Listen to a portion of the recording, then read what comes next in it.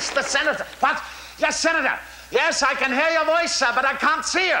No, you're behind a thicket back there, sir. I can't. No, no, no, no, Senator. You can't go round, sir. No, no, no. Get over to your right. Keep thrashing to your. I can't. Look, there's a large boulder over here on your right. I'll rendezvous there with you, sir. Keep thrashing that way. I'll be there. All right, Senator, here you are. Got you. All right, Senator. Easy, easy. You're going to be fine. Now get your arm. Get your arm around my neck. There you go, Senator. You're going to be fine. You're going to be just fine. What, Congressman? What bird? That bird there, that's a Dolichonyx oryzivorus icteridae family.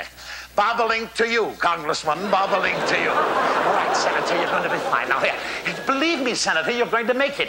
Now, here, now just get your torso up here. There you go. Now, I'm going to push you from the rear.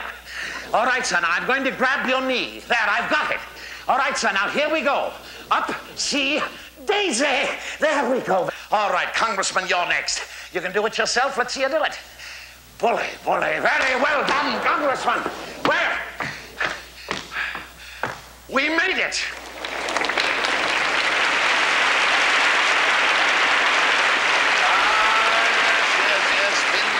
Ah, opus, Congressman. The last is always the best. Oh, yes, Sagamore Hill is glorious this time of year. Yes, the trees are lovely, I grant you. But as I was telling you in the Senate, Senator, are you sure you're all right? Oh, no, stay down on your hands and knees, Senator. It's all right. No, no, you just keep gasping for air. Yes, you have a perfect right to be exhausted, sir. You've traversed over five miles today. Just stay right there until you've revived. Now, Congressman, as I was telling you in the Senator, these trees here in the east are pygmies. Oh, yes, you've got to get out to Yellowstone Park in California. I tell you, they have trees out there, sir, that are so tall, it takes two men to look to the top of them. oh, yes, yes, one looks until he becomes exhausted, and then the other looks the rest of the way. but we've got to save them. That's the point of this visit to Sagamore Hill today, sir. Oh, those trees belong to all the people, not just a few selfish men. Oh, yes, I know my legislation is still in the books, but it needs enforcing, and you're not going to get any help from the White House anymore. Now, that's why you boys in the Congress have got to carry the ball and hit the line hard. After all, it's 1912, and the century is slipping away from us. all right.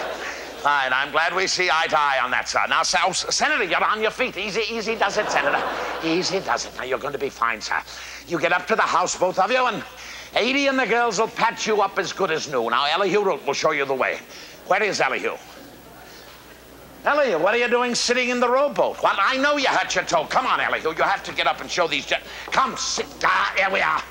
Oh, don't worry about your wet pants. That'll just ease you into your second childhood. Now step out, Elihu. Step out. There you go. All right, there. You're fine, fine. Now just work it, Elihu. Just work your toe. What? Well, we're not as young as we were when I was in the White House. Four years is a long time, especially at our age. Now, here, you show these gentlemen up to the house, would you, Elihu? Fine.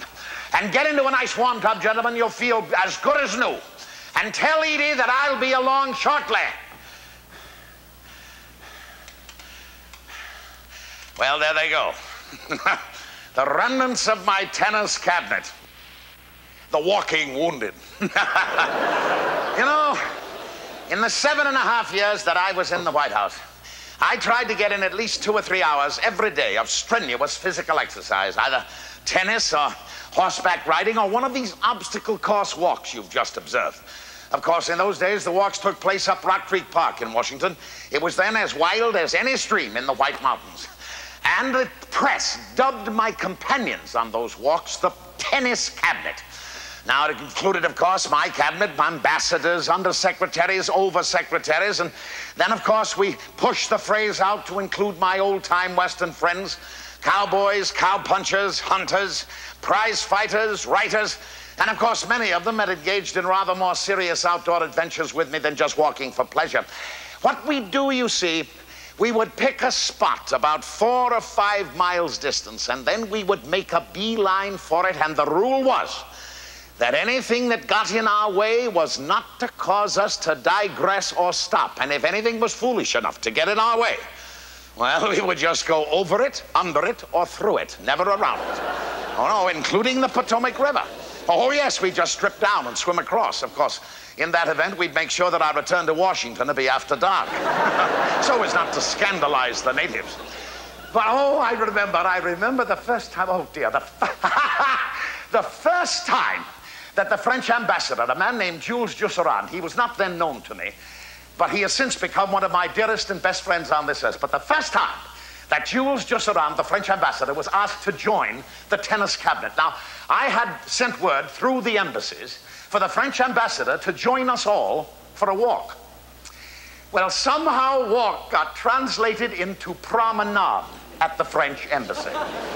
because Monsieur Jusserand, the French ambassador, arrived at the White House very punctually, but in full diplomatic regalia. He had on a top hat, boutonniere, dove gray vest, cutaway coat, pearl handled walking stick, and lavender kid gloves. well, you know, he looked as though he was about to stroll through the Tuileries or, on the Champs Elysees. Now, we were dressed, of course, as I am now. But you can't embarrass another human being because of his clothing, can you? Of course you can. so we just started out.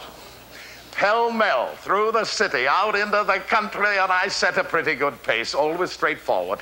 And I must say, that Jusserand kept right up. If he was winded, he didn't show it. He was a plucky little devil. I think he had the honor of La Belle France in his heart. Well, anyway, onward, onward into the evening sunset, strolled the tennis cabinet until suddenly the Potomac River got right smack in our way by a rather well planned coincidence, I might add. Well, I looked over at the French ambassador and I could see the wheels going around. He was saying to himself, uh huh.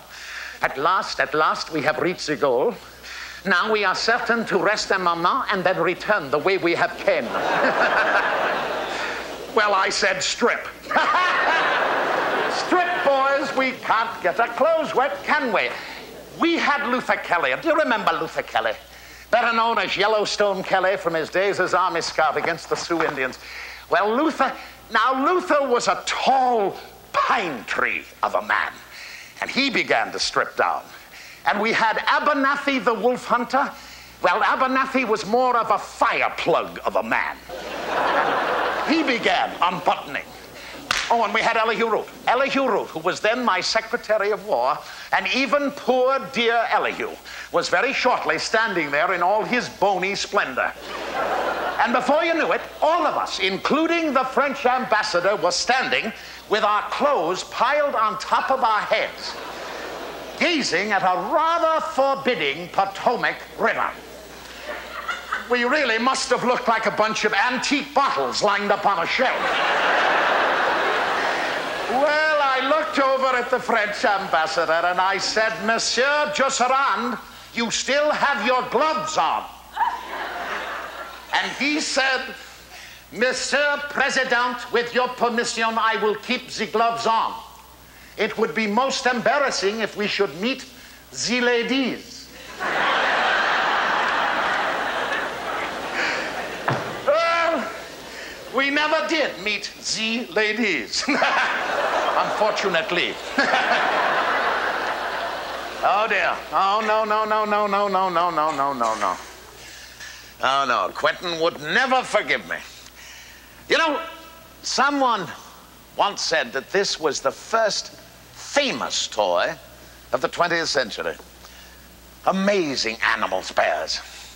Of course, the king of all the bears is the grizzly bear. Scientific name is Ursus horribilis known to old time trappers and hunters as Old Ephraim or Moccasin Joe. And the last, Moccasin Joe, refers, of course, to the huge half human footprint. When you see it, it really looks as though a misshapen giant had passed that way, wearing moccasins. I was camped near the Bitterroot Mountains in Montana one time, and I discovered one morning that a grizzly bear had been feeding on the carcass of a moose that I had killed for food and I made up my mind to get a shot at it that evening. Like most wild animals who've known the neighborhood of man, the grizzly bear is a creature of the darkness. And so when the shadows began to lengthen, I shouldered my rifle and I started out. I had to go about a mile and a half before I finally reached the heavily wooded floor of the valley at the upper end of which lay the moose carcass. And I walked very softly on moccasined feet under the great branches. It was already dusk, and the air had that cool, dead chill of evening. And as I approached the clump where the carcass lay, I walked with redoubled caution, watching and listening, and under the great pines, the evening had the still silence of primeval desolation. The melancholy of the wilderness came over me like a spell. Slightest noise made my pulses throb as I stared motionless into the gathering gloom, and then I heard a twig snap. And suddenly, out of the bushes, stepped the great bear. His huge bulk seemed unreal. He didn't see me. And silent as the night, he started toward the moose carcass. I waited until he was almost there. And I put a bullet between his shoulders, and he fell. And the sound of his savage roar reverberated through the forest. Again, he was on his feet. Again, I hit him. This time, he fell, squalling and yelling. Again, he was on his feet. This time, at a heavy gallop into a thicket where I lost him. I raced down the hill obliquely to cut him off. Watch out! There he was, standing broadside to me. Scarlet strings of foam hung from his lips. His eyes burned like embers in the gloom, but I held true. And I put a bullet in his thorax. And then the mighty beast charged straight at me, with a harsh roar of fury, blowing the bloody foam from his mouth as he came charging through the laurel thicket, making it impossible to aim. I waited until he was almost upon me, then I aimed for his forehead, but my bullet went low, smashing his lower jaw. And then through the hanging smoke, I saw his paw as it made a vicious sideswipe at me, but the force of his rush carried him past, and he fell, leaving a dark red pool of blood while his muzzle hit the earth. Then he made two, three lunges toward me, but suddenly his muscle seemed to give way. His head drooped. He rolled over and was dead.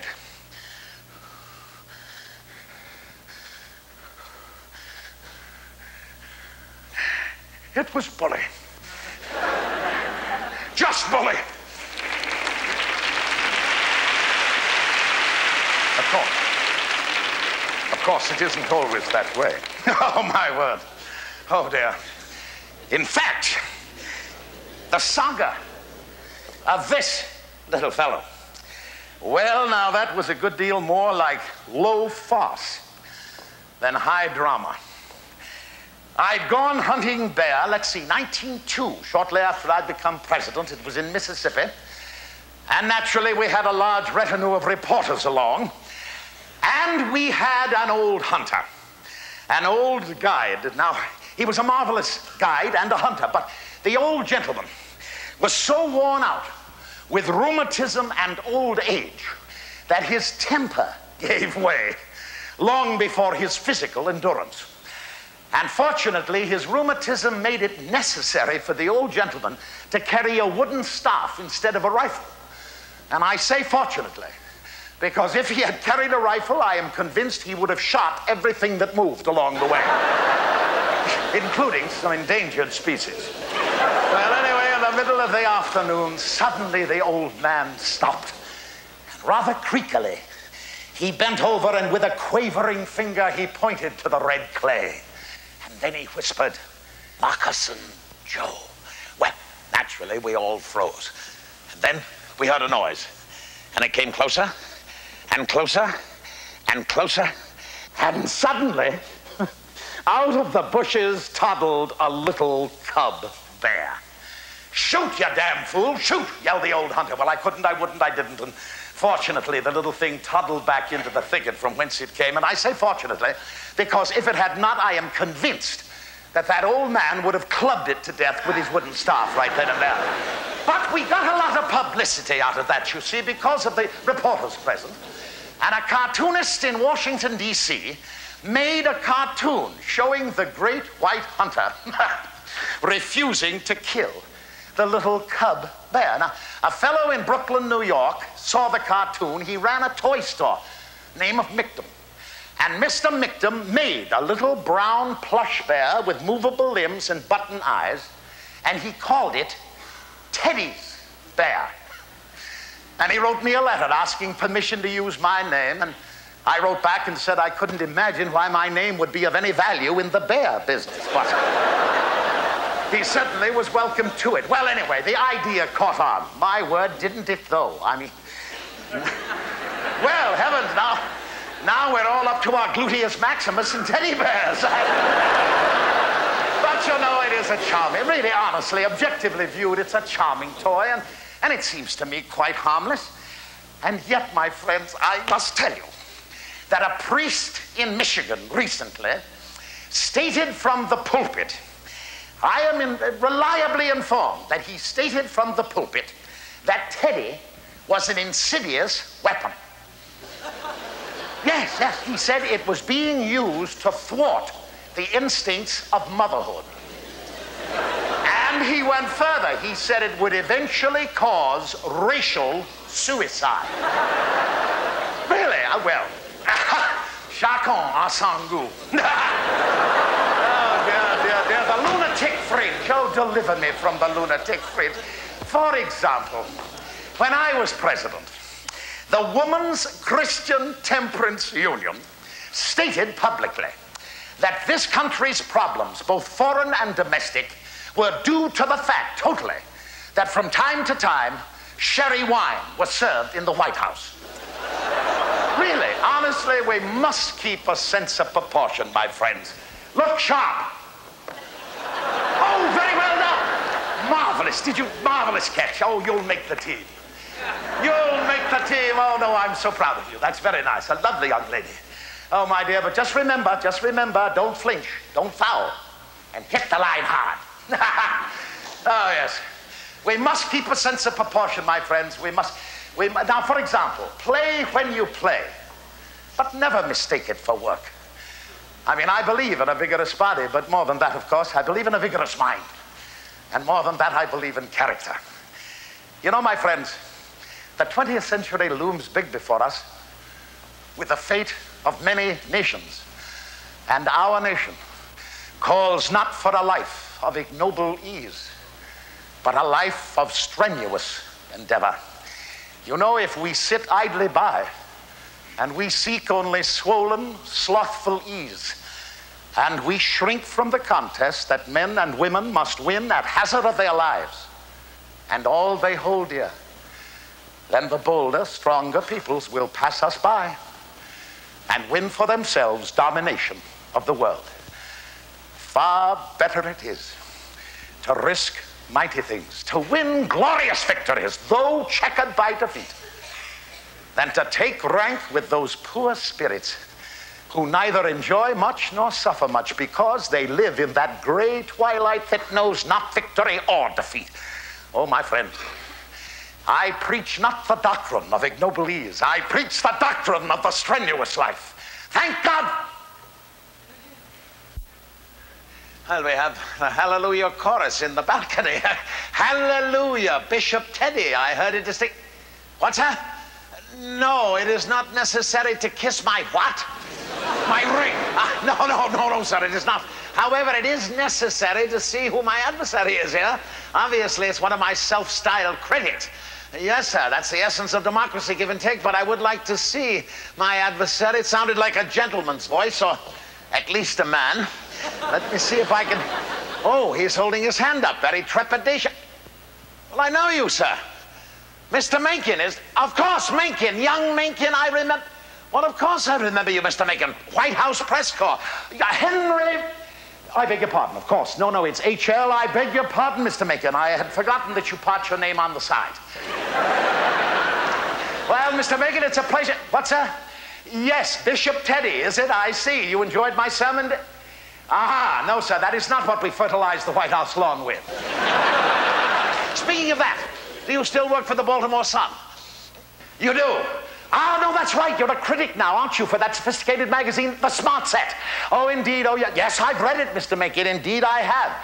Now, I rather enjoyed your critiques, sir. They're mildly amusing, but totally ineffective. well, why? Because, sir, I've been trying to tell you, self appointed intelligentsia, for years, that you've got to shoot the way you shout. We need action.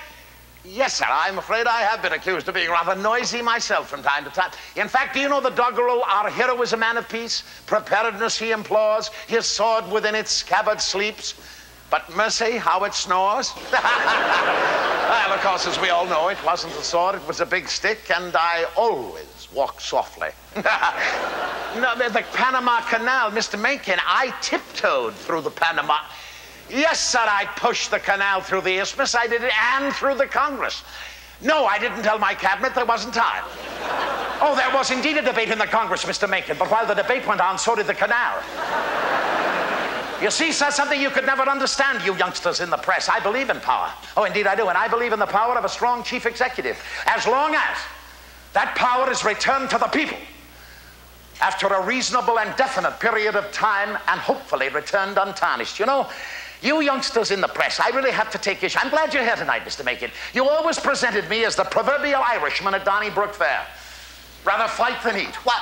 Yes, there's some Irish in me, of course, along with the Dutch and the English and the German and Italian and French and on an election day, who knows what. no, Mr. Mencken, I'm like Mark Twain. I'm an American mongrel and glad of it. Young man, admit it. You could never figure me out, really. No, no, you couldn't. You could never figure whether I was a conservative radical or a radical conservative. Admit it. or a radical conservative, populist, progressive, monarchical imperialist. you opt for the last. No, sir. No, no, please. I know. Perish the thought, Mr. Mencken. No, no, no monarchist I, sir. The more I see of the Kaiser and the Mikado, oh, and the Kaiser, no, no, no, no, no, no, no. The more content I am with American democracy, even if we do have to accept as one of its assets the American newspaper. That's a joke, Mr. Mencken. Joke. For heaven's sakes, I like the. I put the first press room in the White House, as you well remember. And you, well, for heaven's sakes, if you, I like newspaper men, and if you treat them fairly, they'll treat you fairly. And you know, it's not true, my friends, that a newspaper man will not keep a secret. Absolutely not. All you have to do is impress upon him that whoever he tells the secret to must keep it a secret. and then, of course, you have to be very careful in selecting the secret that you don't want them to tell. what? No, Mr. Mencken, please, not the canal again. No, sir, there were no secrecy involved. But no, I could not negotiate with the Colombian government, Mr. Bacon. That was like trying to nail currant jelly to the wall. It can't be done. Wait a minute, Mr. Bacon, I weary of this entire colloquy, sir. Could we draw it to a close, please? No, I tell you, I'll give you a scoop, sir. How's that? All right, a scoop, direct quote, and that should be quit. All right. Do you have a pencil and a piece of paper? Of course you do. Tools of your trade.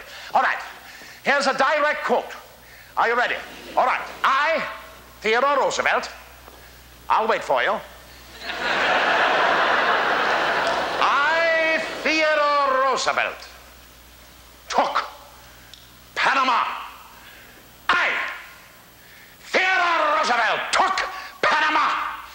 What, Edie? What, darling? Oh, oh, oh, oh, uh, tea time.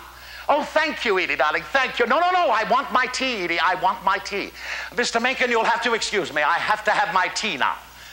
Thank God for tea. Thank you, dear. Thank you very much.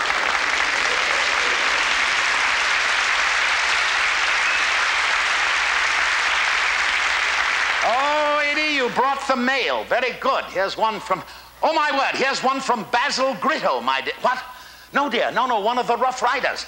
No, no, no, no, not one of the college chaps, cowpuncher, fondly known as Snakebite. In fact, he's out west again, my dear. Let's see what Snakebite has to dear Colonel. I am in trouble. I shot a lady in the eye. Oh, my word. But I didn't intend to hit the lady. Good for you, Gritto. I was shooting at my wife. What, dear? No, no, no, no, Edith. He was just remarking on his extraordinary marksmanship, that's all. well, where? You're going into Oyster Bay? Oh, Edie, wait a minute, darling. Would you post a letter for me, please, dear? Yes, I was just finishing it up to Kermit. And you can take it and post it for me. I was just telling Kermit about Quentin's getting his legs so badly sunburned last Tuesday, you remember? And the little boy looked down at the legs and said they looked like a Turner sunset. Don't they, Daddy? Do you remember? And then he said, I shan't be caught this way in public, Daddy. Quoth the raven, nevermore. You know, darling, I can understand the little scamp. For a 12 year old, it's understandable, quoting Poe, but where do you suppose he ever got any knowledge of Turner Sunset? I know, I know he is the cunningest, darlingest little child. I, yes, dear, that is the front door. Yes, go ahead and answer it, and I'll finish this up, Edie, and then you can post it for me. you know, Kermit, I am having the best time of any man my age in all the world. I thought I'd enjoyed myself in the White House, and I did. But I am enjoying myself more thoroughly out of the White House. And what's more, I fully intend to get what dear? Who? Gifford Pinchot, William Allen White, and Elihu Root here now? Well, Edie, darling, show them in, my dear, show them in. Delighted gentlemen, oh my word, what a lovely. Uh, Elihu, how are you? Elihu, my, what the children are fine. Thank you, Elihu. So good to see you. And Bill, how are you, Bill? Good to see you. Yes, the trees are lovely, aren't they? Absolutely. Glo- and Gifford, hello, Gifford, how are you? What? What horse? Oh, the gray, the dapple gray. You mean on the, uh, yes, the left hand side of the drive, driving up, absolutely new. Very observant of you, Pinchot. Very observant of you. Well, it's so good to see you, Gifford.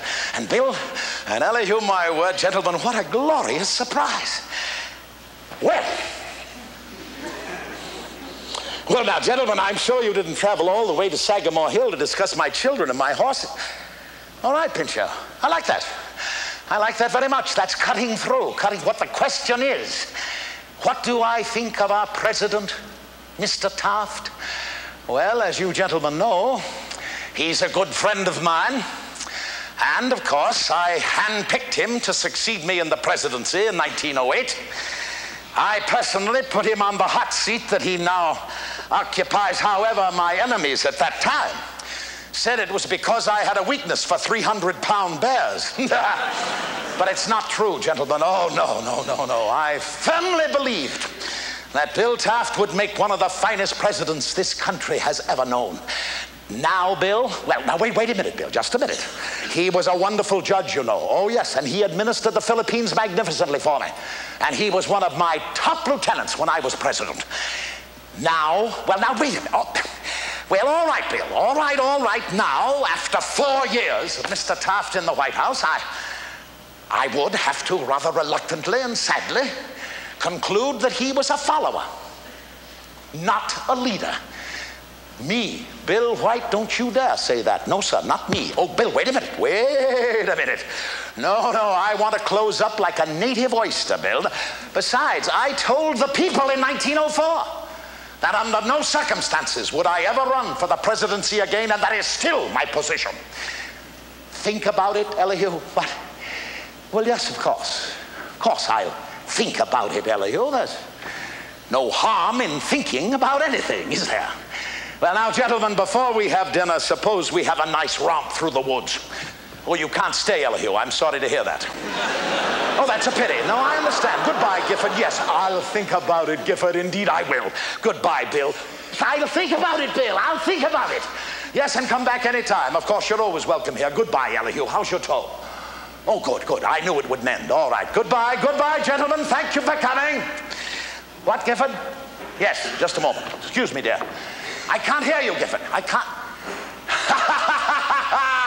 oh, that's outrageous. Absolutely outrageous. Get out of here, Pinchot. Get out of here.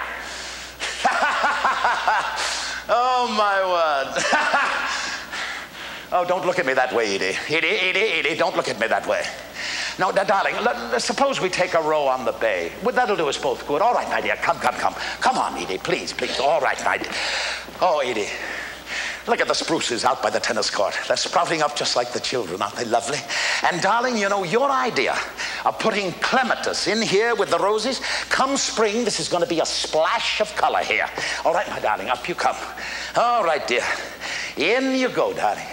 There you are. When I was a tadpole and you were a fish in the Paleozoic time.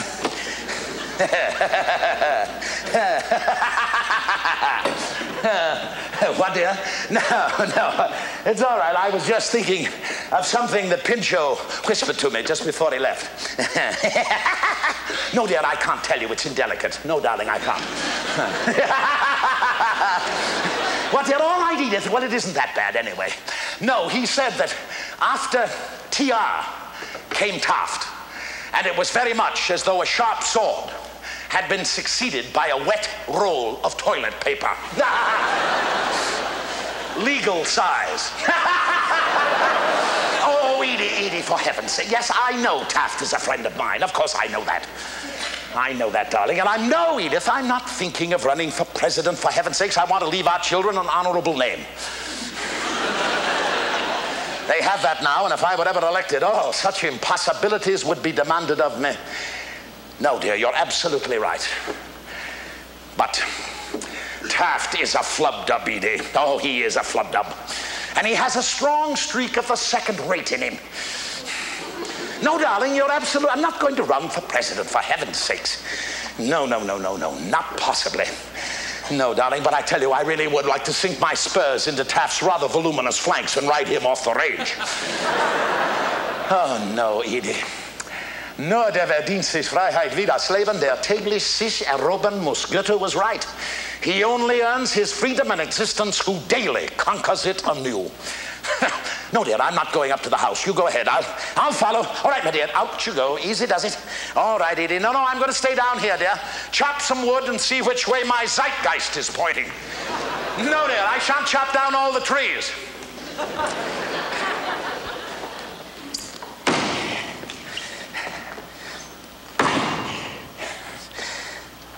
You know, the man who got the most joy out of living of any man I've ever known was my father, Theodore Roosevelt. And he performed his duty more wholeheartedly than any man I've ever known. And you know, that's an extraordinary combination performance of duty and joy in living. Father took the children's education so seriously. I remember when I was just 11 years old, he took the entire family to Europe for the first time.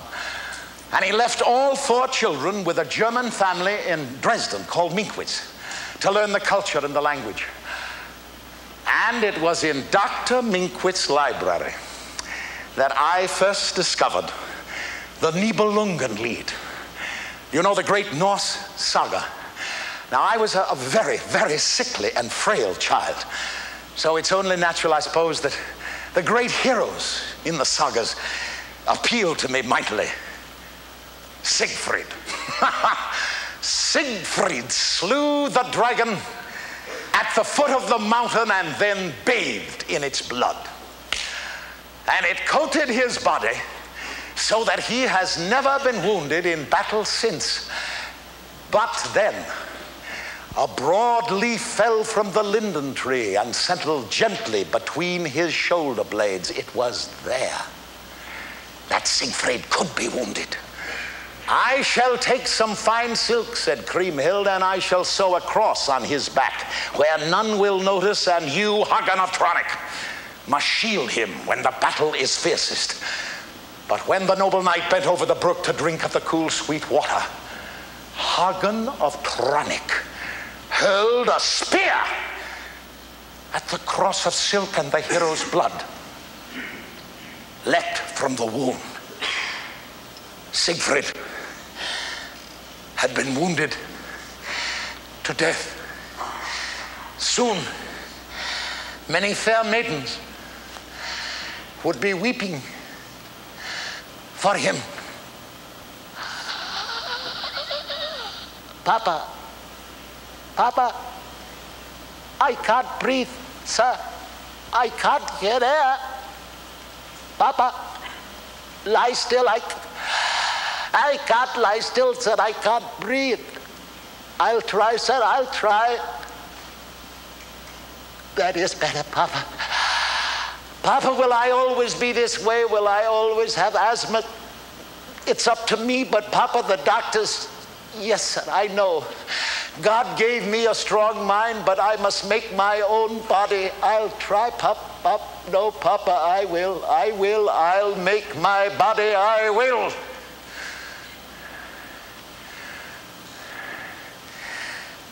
I was a, a very, very shy and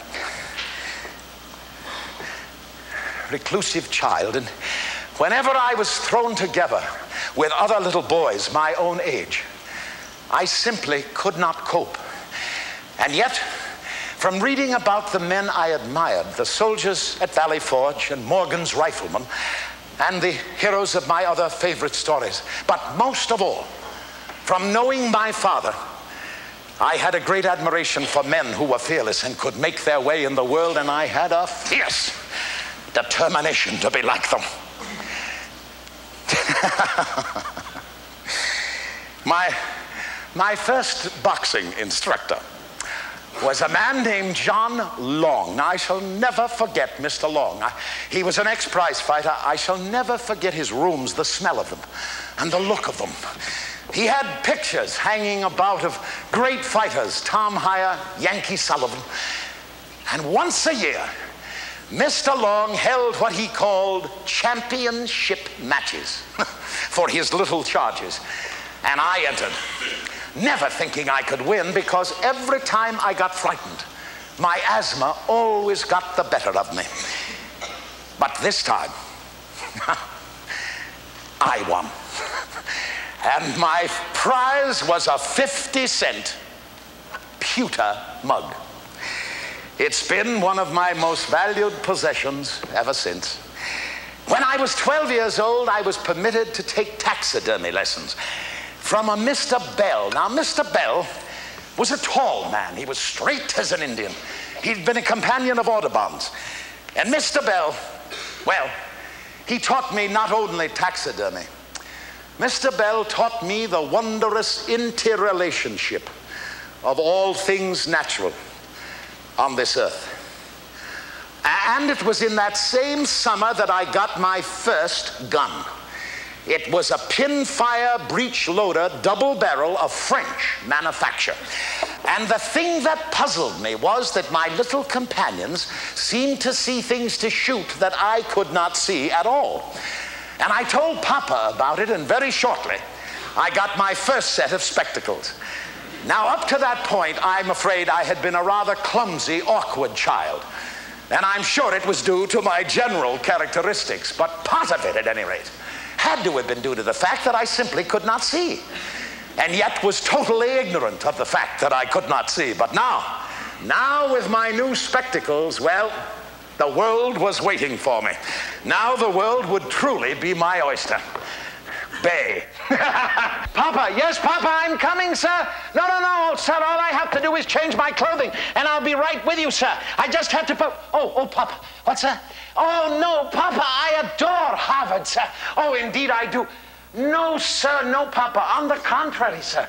No, no, I think it's an advantage that I had to be tutored all these years at home because I was so ill. No, Papa, it makes me appreciate the camaraderie of the other men that much more. And, Papa, I adore the competition. Papa, I'm going out for the boxing teams, and I'm going to. What's that? Oh, yes, Papa, I've thought about it. Oh, indeed, sir, I've thought about little Elsa. And, Papa, I've finally made up my mind. Yes, sir, I'm going to be a scientist. Yes, sir. Oh, thank you, Papa. Thank you, thank you. Yes, I know you've made it economically feasible for me to pursue pure research, and I'm most grateful. What, sir? In matter of my finances, I should always keep the fraction constant. All right, sir, I sh- shall. I, I don't know what that means, sir, but I certainly shall. But if I'm not going to increase the numerator, then I must not increase the denominator. All right, sir, I shall. I still don't know what that. Wait a minute, Papa. Yes, I do. You mean if I'm not going to earn money, then I must compensate for that by not spending any? Yes, sir, I do understand. And, Papa, may I tell you, sir, that whatever I undertake, I'm going to make you proud of me, sir. That I promise you. That was the last serious talk I ever had with my father. He died at age 46 when I was a sophomore at Harvard. He was the finest man I ever knew. He was not only my father, he was the best friend that I ever had on this earth. Well, after that talk with him, at any rate, I, I was firmly decided that I was going to be a scientist. Uh, no, Mama, no, darling. I know, dear, I know, Mama, what I said, sweetheart, but I, I changed my mind. That's right, I no longer want to be a scientist, Mama. No, no, no, I don't. No, dear, well, it's Harvard's fault, Mama. Oh, yes. They say that anything that isn't done in a laboratory over a microscope is not science, and the natural science I love is outdoors. No, it's a good school, Mama. Oh, no, no, Harvard is a good school, my dear. No, Mama, it's just that, well, there's a rather thin patina of sophistication overall.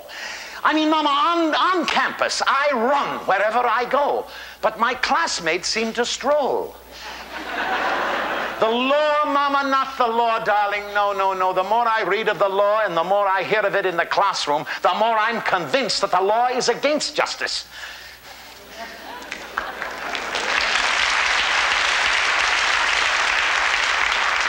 business, business, no, no, no, darling, not business. Well, well Mama, for example, you know the dicta, uh, caveat emptor, buyer beware? Well, it seems to me that, that the seller must have some obligation too.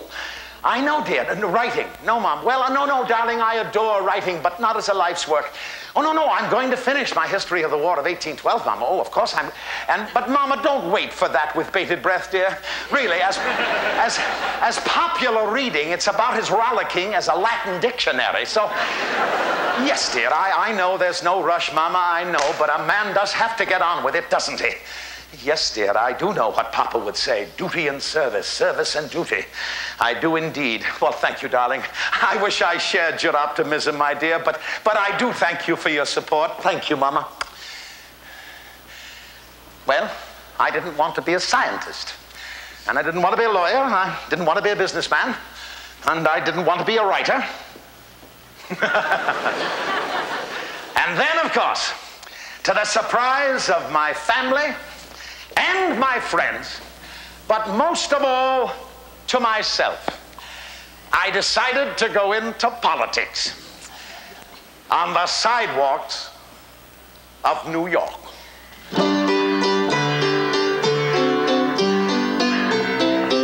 You know, in the 1880s, a young man of my conviction and upbringing could only join one political party, the Republican Party. But that wasn't as easy as it may sound, because before you joined it, you first had to find it. and when I announced my intentions to my wealthy friends, the self appointed haute monde, they took me discreetly aside and they said, Theodore, Theodore, political clubs are an obscene thing and will surely drag you down. They're run by streetcar conductors, saloon keepers, and sellers of pork. and they'll make you a social pariah on the sidewalks of New York. And I said, Very well. That simply means that you folks are not members of the governing class. And I intend to be a member of the governing class. Well, it was just about that time that I made by chance friends with one of the governing class, a chap named Joe Murray. Now, Mr. Murray became my political mentor. And he was an eloquent teacher. He said, Theodore, you gotta get it through them four eyes of yours. that politics is a rough game, Theodore. He said, Tammany Hall runs the whole show. And this city and this state is democratic up to its navel. He said, All me and me gang do, Theodore, is the usual political gang work for the leader. And then the leader gives us our just rewards. Well, after one election, the leader failed to give Joe his just rewards, thinking, I suppose, that Joe would forgive and forget. But Joe Murray, was not a man to forgive or to forget because when the next election rolled around, to the absolute horror, shock, surprise of the Republican hierarchy, Joe Murray proposed me, a 22 year old unknown, as candidate for the New York State Assembly. And then Joe set about seeing to it with his gang that I got my just rewards. He came to me the day after my successful election and he had a grin from ear to ear. He said, Oh, Theodore, you should have been there with us yesterday. He said, You should have been in the ballot booths with us.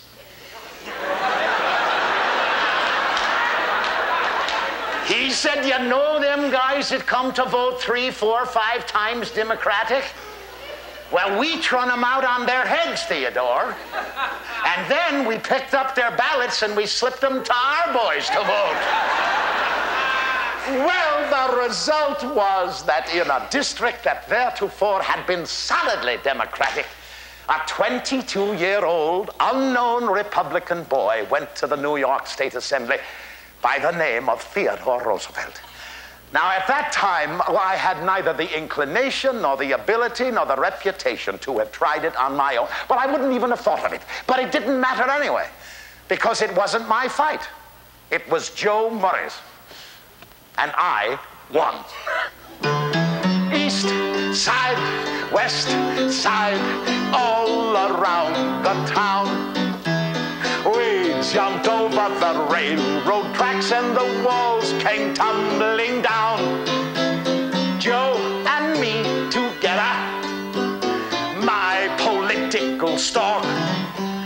He gave birth to my whole career on the sidewalks of New York.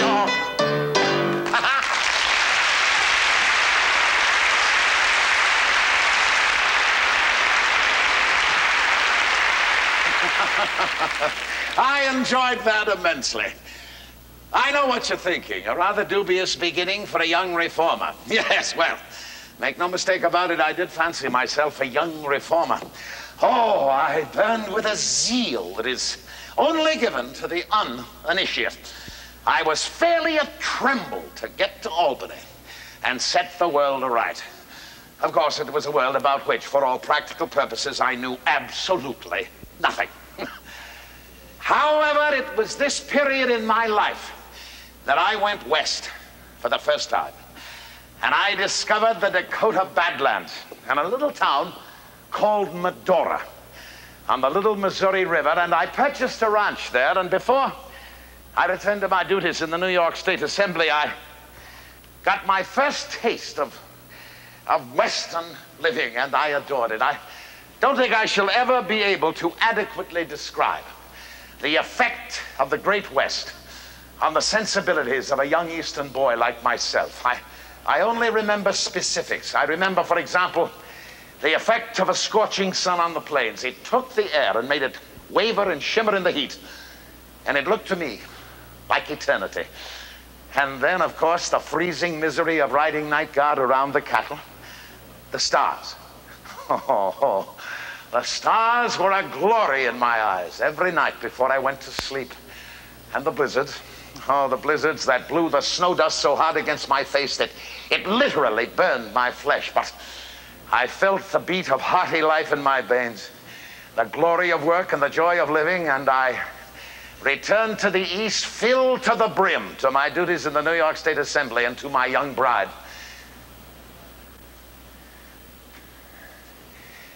Her name was Alice Hathaway Lee. And I saw her first on October 18th, 1878. And I loved her the minute I saw her. Sweet, fair, young face. And we were betrothed on January 25th, 1880, and married on October 27th of the same year. And we had three years of happiness that seldom come to man and woman. And then on February 12, 1884, our little girl was born. She called it Alice as we'd planned. She kissed it. My wife seemed perfectly well. But a few hours later, not knowing she was in the slightest danger, but thinking only that she was falling into a deep sleep, she became insensible and died. At 2 o'clock, February 14th, 1884, at number 6 West 57th Street, New York City, New York. Pure and joyous as a maiden, tender and loving as a young wife, when her life seemed to be but just begun and the years seemed so bright before her, when she had just become a mother. By a strange and terrible fate, death came to her. And when my heart's dearest died, the light went from my life forever. And on that same day, in that same house, my beloved mother died. And we buried them both together. And I, I ran away. I ran west.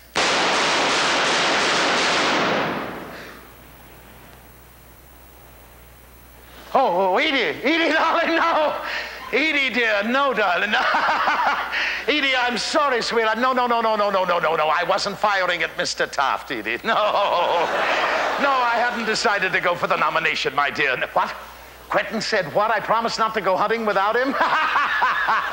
oh, no, Edie. No, no, dear. I was just recollecting and remembering the Old West and Alice and thinking, my dear, how the Old West made me healthy enough to come back and fall in love with you, my dear, and I'm most grateful to you. What, Edie? Yes, I know. The men are here due at six o'clock for my answer on the. It's six now? Oh, Edie, it can't be. My word. Oh, dear, I wanted to discuss this with you. Edith, Edie, if I am at the crest of the wave now and I start to go down, would it make any real difference to you? You've heard me speak this way before. When, my dear? Well, Edie, when I was vice president, I had ample good reason.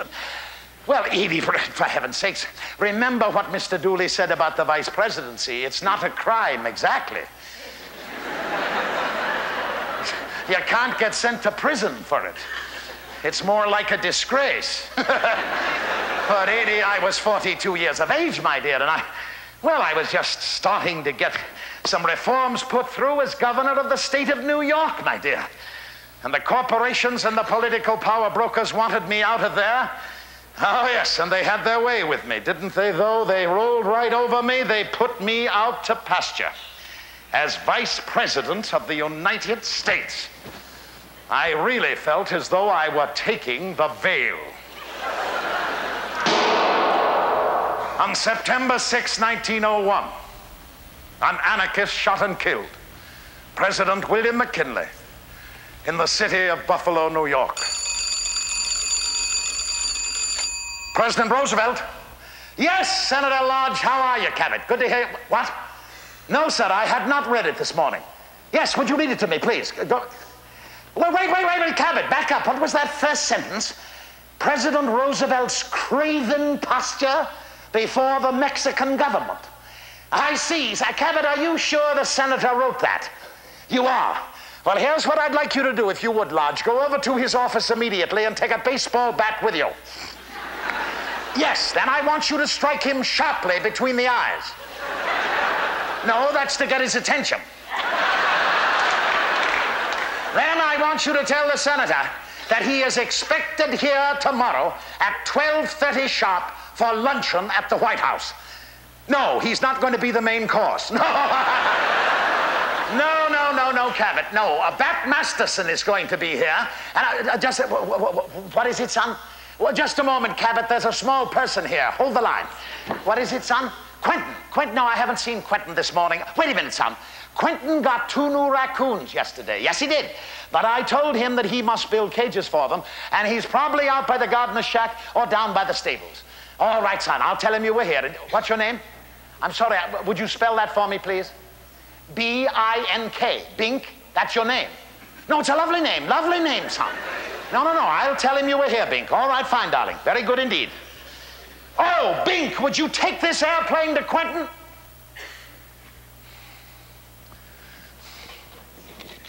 Bat Masterson is going to be here for luncheon tomorrow, Cabot, and I want that warlike senator to meet him. Well, we both know how gentle and kind Bat Masterson is. And I want that warlike senator to realize that bluster and strength are not the same thing at all. No, no, no, no, no, no, no, no, no. I'll be very gentle with him, Cabot. I'll simply explain that our problems with Mexico are not susceptible to the solutions of force. Oh, in fact, I placed the entire matter before the International Peace Tribunal at The Hague. Did you know that? one? that's. Oh, Quenty. Oh, darling, you have the raccoons on, Quentin. They're glorious. My word, let me see them. Let me see them, Quenty. Oh, they're darling, Quentin. Aren't they wonderful? This one is absolutely glorious, isn't it? And this one. Oh, oh dear. Well, that's all right. No, no, that's perfectly all right. No, no, that was just a love nip, I think. What? Yes, there was a boy to see you, Quentin. That's right, Bink. And I told him you'd be out by the gardener's shack down by the stables. All right, darling. Oh, Quentin, you're supposed to be billing cages. Yeah, yes, yes, four o'clock pillows. Four o'clock pillows, I won't let you down. All right, Quentin. Oh, Quentin, would you take your nap? Hello, Lodge. What? I'm sucking my finger. Well, it was just bitten by a raccoon. Must be a Democrat. Oh, wait a minute. No, wait a minute. Cabot, please don't get started on the fam. Alice, now, listen, uh, Cabot, Alice is a 19, a 19 year old girl, and she's filled with life. No, I don't want to hear what happened at the Vanderbilt's party in New York City. She did what? She fired a toy cap pistol at Lady Vanderbilt? No, no, no, no. I, I don't find that amusing, Cabot. No. No, no, I find it hilarious. and, uh, what? Of course Alice carries a snake in her purse. Yes, I know the snake personally. Yes, it's Emily Spinach. Emily Spinach. That's the name of the snake, Cabot. Well, spinach is for its color, and Emily is for an aunt of ours who's thin beyond belief. Now, look here, Cabot. Wait a minute, Lodge. I can either be president of the United States or I can control Alice. I can't possibly do both. Oh, just a moment. Uh, Bill Loeb just walked in. What is it? Oh, oh, dear, dear, dear. The Japanese delegation is here, Lodge. Well, I'm going to try and intercede between they and the Russians, but I don't know what to say to them. Oh, with the Orientals, it's not so much what is how. I see. Well, my what's pretty good, but my how gets me in all kinds of trouble. Yes, show them in, Bill. Show. Oh, say, Lodge, you met them, didn't you? Well, help me, Senator, help me. They're inscrutable. Well, that's a big help, Lodge. Thank you very much. I'll just have to figure out some way to unscrew them, won't I? oh, here they are, Lodge. Goodbye. Gentlemen, so good. Well, Baron Komura, how are... Baron, such a pleasure to see you, sir. Yes, Baron, absolutely welcome. And Minister Takahira, so good to see you too, sir. Indeed. What? This is a toy. No, no, well, it's more, wait a minute, it's more than a toy, gentlemen. This is a reasonable facsimile of a heavier than aircraft. That's right. And two of our men flew it two years ago down in the south of this country, and they had it airborne for 59 seconds, gentlemen. Imagine that. And let me tell you something. One day, this is going to be a very powerful weapon in war. Well, um, um, how are your accommodations? Oh, good, good, I'm glad. yes, this is my office. This is where I work. What? You know the family lives upstairs. We all live right here in the White House. Gentlemen, May I show you around the White House? Well, I'd enjoy that immensely. Yes, we're very fond of the color ourselves. Uh, after you, gentlemen. Gentlemen, oh, no, I'm, gentlemen, after you. Gentlemen, please. It doesn't matter, I'll go first. Well, no, it's much too small for us, gentlemen. You see, we have the six children. And then we have the dogs and the cats and the rats and the snakes and the horses. What? Oh, no, we keep the horses outside. Yeah. Nice to see you too, sir. We like to have the public visitors here. Would you excuse me? I just want to say hello to this gentleman. Nice to see you, sir. How are you? Please, make yourself at home. Have a good time. What's the matter, madam? Are you all right? What? No. oh, that's charming. Absolutely charming, madam. Yeah, what is your name? Mrs. Curtis. Uh, may I present Baron Komura and Minister Takahira of the Japanese Empire. Gentlemen, this is Mrs. Curtis of Fort Lauderdale, Florida. She just told me a charming thing. May I, Mrs. Curtis? Oh, thank you. She just said she'd come all the way from Florida to see a real live president. May I tell you, Mrs. Curtis, very often we Northerners go down to Florida to see a real live alligator. Yes. The children are fine. Thank you, Mrs. Geddes. Thank you. Well, Alice is blooming, and uh, Kermit and Ted are away at school, and Archie and Ethel are here in the White House, as is Quentin. Quentin, oh my word, I'm sorry. Gentlemen, it's, oh, after, heavens alive, after four. I must go. I really have an appointment I must keep. Now, we're to meet each other at 10 o'clock tomorrow morning at the State Department. Exactly. All right. Mrs. Curtis, would you do me a vast favor? Would you show these gentlemen around the White House? Thank you, Mrs. Kelly. Yes, gentlemen. Sayonara, sayonara, sayonara, sayonara. Dear Ted, have been having some glorious pillow fights lately here in the White House with Archie and Quentin and their cunning little friends. And we have a glorious game of hide and seek planned this Saturday afternoon on the White House grounds. Undoubtedly, it will spill over into the White House proper. My son, at present, I am trying to function as peacemaker between the Japanese and the Russians, trying to bring this terrible war to a close. I enjoy being president. I enjoy the work and having my hand on the lever. And I think I will enjoy myself even more thoroughly this evening, Ted, because I am to give the main address at the annual Gridiron Club dinner here in Washington, D.C. And I say enjoy myself thoroughly because I am told that Mr. J. P. Morgan will be there. I can hardly wait. Gentlemen of the Gridiron Club, distinguished guests, there you have it. In précis form, an outline of my programs for the next four years. And I want to thank you all for your rapt attention during a rather prolonged discourse here. However, I know I'm terribly sorry. I shouldn't do this, but I, I, it has been rapt attention, gentlemen. But in the area of Mr. Morgan's table over there, it has been wrapped in rather apparent disapproval. Oh, Mr. Morgan, now I'm sure that that pained expression on your face during my speech did not derive from the excellent chicken we were served here this evening. You know, I'd like to, if I might, gentlemen, I'm terribly sorry to keep us all here. I know we're about to be asphyxiated by the cigar smoke and embalmed by the brandy, but I would like to, if I might, just say a few words to Mr. Morgan. You know, Mr. Morgan, recently, it was stated in the press that one of your colleagues, Mr. George F. Baer, Yes, president of the Reading Railway, one of the, the industrial titans in this country. Mr. Baer stated something that has intrigued me. And that is, he said that the laboring man in America need not look to the labor unions for his protection, but rather, said Mr. Baer, the laboring man should look to those Christian gentlemen to whom God, in his infinite wisdom, had given control of the property rights in this country. And I know, wait, wait, Mr. Morgan, wait a minute, excuse me. Now, I, I know not, sir, of any covenant that you or Mr. Harriman or Mr. Baer or Mr. Gould may have with the Almighty. But, Mr. Morgan, I do know that I have a covenant, sir. And it is with the people of this country, and very simply put, it's to see to it that every man, woman, and child, Christian and non Christian, shares fully in the bounty of this land. Mr. Morgan, if we are not successful in curbing your power, sir, then those that come after us will rise in their wrath and destroy not only you, sir, but this country as well. Oh, Edie? What? What? No, no, no, darling. It's perfect. No, no, Edie. It's perfectly all right, my dear. I, I was just remembering, just, uh, just recollecting. Oh, the men are here for my answer on the nomination. Oh, Edie, Edie, I wanted to discuss it with you. Yes, gentlemen, come in, Bill. Nice to see you. Come. Come in, Bill. All right. Nice to. How are you, Bill? Good to see you. Come in. Come. In. Hello. Good to see you, Gifford. Please, please, please. Gentlemen, where, where is Elihu Root? He's decided to stay with Mr. Taft. Well, gentlemen, perhaps we should all stay with Mr. Taft. Yes, Bill, I've thought about it. I have indeed thought about it. And the temptation is great. But the danger is great. Now, the White House. the White House is a bully pulpit, and I do rather enjoy being weekday preacher, but. Gentlemen, my hat is in the ring. Let's go for the nomination. All right, Bill. Yeah, Edie, I know, darling, Edith.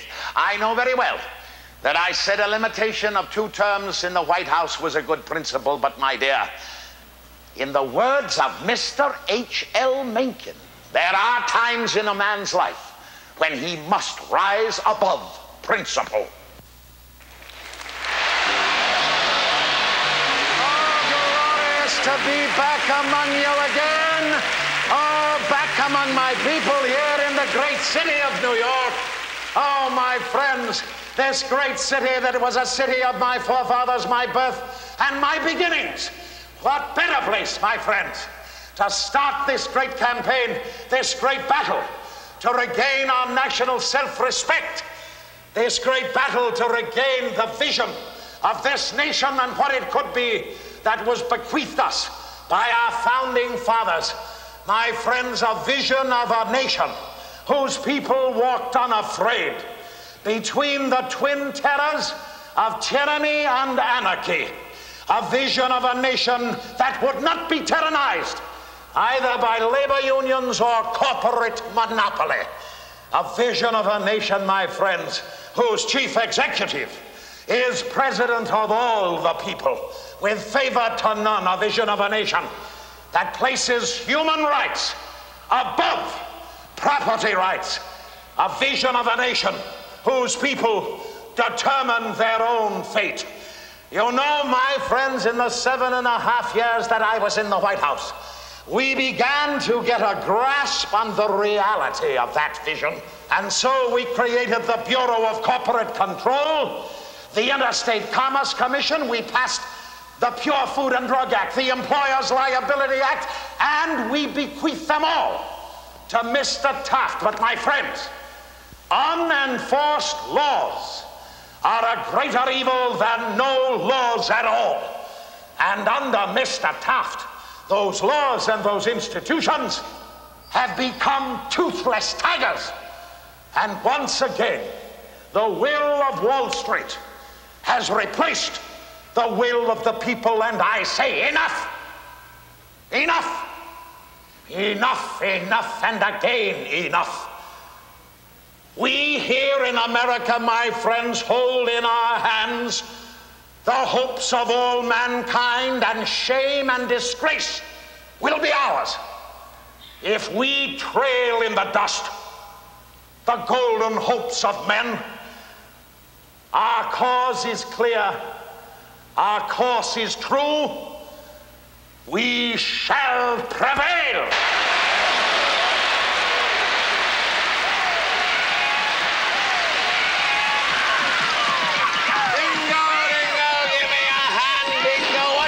Watch out, keep your horse off the tracks there, lad. Hello, Chip. How are you, Buck? And Durango, how are you? There? Oh, gentlemen, it's great to look into your ugly mugs once again. Hello, Seth Bullock. How are you, Seth? Oh, my word, all of Medora must be here. Who's minding the saloons? What, Seth? Yes, Hell Rod and Bill Jones, of course I remember him. What about? He got so nervous? Waiting for me that he drank himself under the table? well, when he revives, Seth, you give the old crowbait my love. Boys, watch your horses. Keep them away from the train. This train gets very skittish around horses. What, Seth? No, I can't dismount. I can't dismount. No, I only have a moment. No, I have to ride this iron horse all the way into California by tomorrow afternoon. Yeah, what? Yes, we can chat for a. Yes, Seth, I am indeed back in the center of the arena, center stage, where I belong. Yes, Seth, I do remember what Kermit told you the last time we were out here. Maybe you boys didn't hear it. My son Kermit, the last time we were here, told Seth Bullock that his father always liked to be the bride at every wedding and the corpse at every funeral. and he was right, you old waddy. But, boys, in this election, we're going to let Mr. Taft hold the lily. What, Buck? No, I hadn't heard that. What? what? He's, he said he didn't want to fight me. Really? Well, I think that shows good sense, don't you?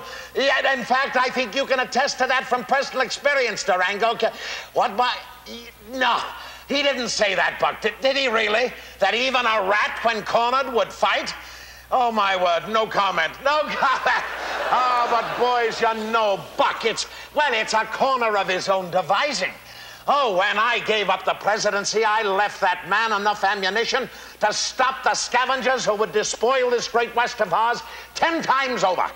Why, I gave him four million acres of fertile farmland that federal irrigation had reclaimed from the desert and the land speculators and I left him 150 million new national forest acres. And I left him 51 new wildlife preserves, five, five new national parks, and most importantly, I left him a Department of Forestry at the cabinet level for the first time to make sure that those promises were kept. But boys, Mr. Taft has reneged and welched on every one of those promises. Oh, yes, he prefers to ride with the, the real estate manipulators and the lumber combines and the railroads. So, boys, in the name of our children and our children's children, Mr. Taft must be pulled from the saddle. But boys, because this conservation thing is not just a question of morality. Oh, no, no, no. It is a question of national survival.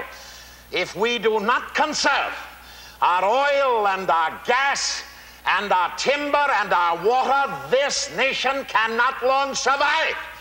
And control of those things, my friends, must be left in the hands of the people, so Mr. Taft must go. And so evidently must I.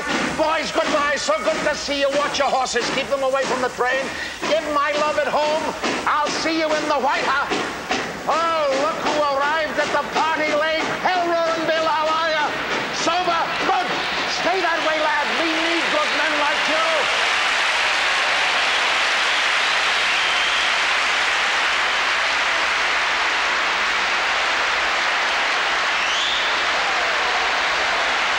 Golden, golden, golden, golden, golden, golden, a golden reception from a golden city. San Francisco, I salute you and I must thank you. Oh, yes, because after 3,000 miles of railway travel across this country, I must confess I was beginning to feel a little tattered and torn. But the warmth of this reception, well, it's rejuvenated my spirit and it's pumped new life back into my veins. I thank. What's that? Why didn't I come through what? Did you? Teddy's ditch. No, sir. No, I did not come through Teddy's ditch. No, there aren't many voters in Panama. ah, no, but I had to come across the country. I, I wanted to look into as many faces of Americans as I could to see what the last four years has done to our national self-esteem. You know, my friends, for the last four years, we have been led down the garden path. And now, in this election year, it is time to return to the path of righteousness and national self-respect. My friends, we must have it. If we do not, we cannot then respect others. And that is exactly what I sent the Great White Fleet around the world five years ago. You saw them here in San Francisco Bay. 19 mighty battleships of the United States of America. It was to show this country that we were a great people and we spanned a mighty continent and we belonged in two oceans. And of course, it was to show the world that the United States was ready to take its place as a member of the family of nations, as an equal, no more, but no less. But my friends, it is not enough that we alone survive. Oh no, if we are to remain true to our principles, we must serve the interests of all mankind, my friends. We cannot. We cannot sit huddled within our own borders, an assemblage of well-to-do hucksters who care nothing for the rest of the world. The question is not, will we play a part in the world's affairs? Play it, we will. The question is, will we play it badly? Or will we grasp the nettle of honorable leadership, family, and continue to be a beacon of hope for all mankind? I see the answer written in every one of your faces. It is, with proper leadership, a resounding yes.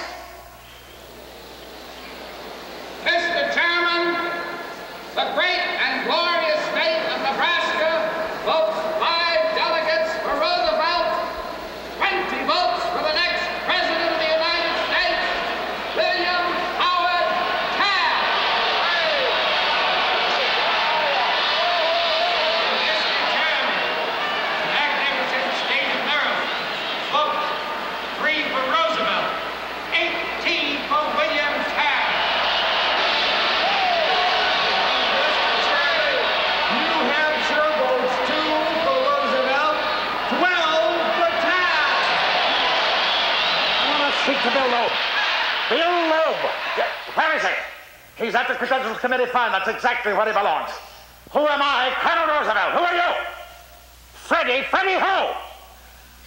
Oh, yes, I remember you, son. All right, I remember you. I'm sorry I shouted at you, Freddie. Now, what do you mean, what's going on, Freddie? You're down on the floor of the convention. I just arrived in Chicago and I'm in a hotel room. Wait a minute, I'll tell you exactly what's going on, son. It's an old fashioned attempted political rape.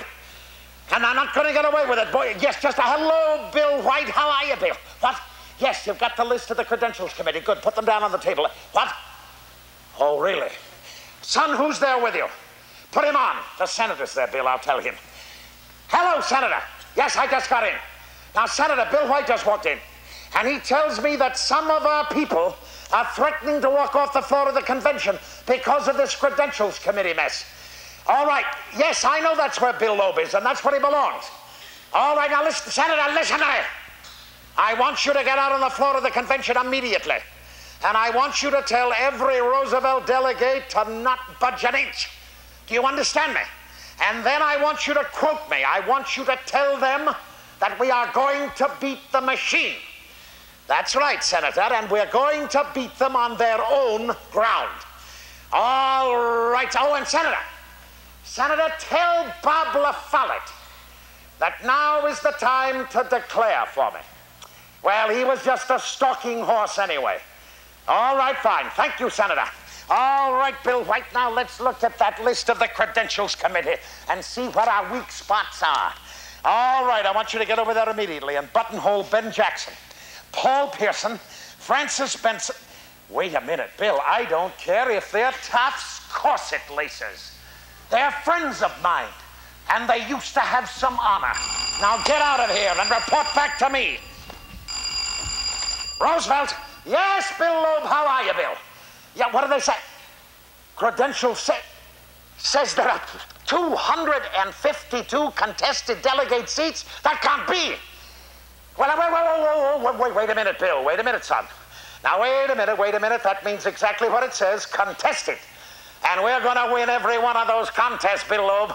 Oh, yes, we are, Bill. We won every one of those seats fairly and squarely in the primaries. There's not a power on earth that can take them away from us. All right, son, get back over to the committee and then report to me immediately. Yes, who? Oh, put him on, put him on. Hello, Pinchot, how are you, Gifford? Yes, just got in. What do you mean La Follette refuses to declare for me? Ah, well, the screws are tightening, eh? Yes, of course, the machine rolleth on. Wait a minute, uh, Pinchot, don't say that. There's no slippage. California, Gifford, we have all of California. Ryan, wait a minute, Gifford, you get over to that California delegation and you tell Ryan, the miserable little worm, that his sacred honor is at stake in this thing, not to mention his future in Republican politics. Yes, and if that doesn't work, you tell him I'll come down there and shoot him. Ted, how are you, son? Good to see you, Ted. What is it, son? What's the... The South has gone solidly for Taft. Gutless. Gutless, gutless, gutless, gutless, gutless. Roosevelt, yes, Loeb. All right, wait, uh, Bill, Bill, catch your breath. I can't understand a word. Just. Uh, yes, yes, you told me. 200 and. Yes, 252 contested delegate. Credentials gave 238 to Taft. No, I'm right here, Bill. I'm right here. No, son, you you stay at your post. yes, just just to wait further orders. Well, Ted, in the 13 primaries held, we won 272 delegate seats to Mr. Taft's 46. And this convention right now is in the process of stealing Everyone. This convention no longer represents the Republican Party. Yes, Gifford, come in, Pinchot, come in. What, Gifford? They want a compromise, do they? Well, Gifford, there will be no compromise with thieves. No compromise.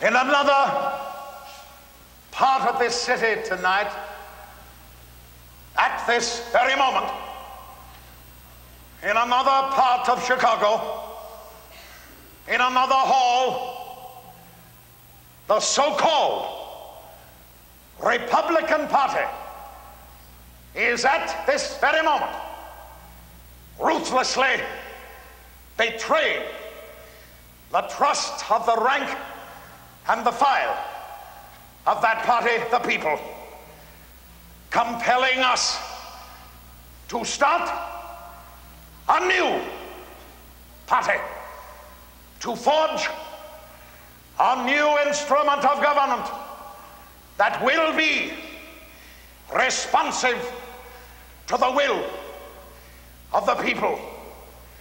Let history record that at this late hour, on June 22nd, 1912, a phoenix has arisen from the ashes.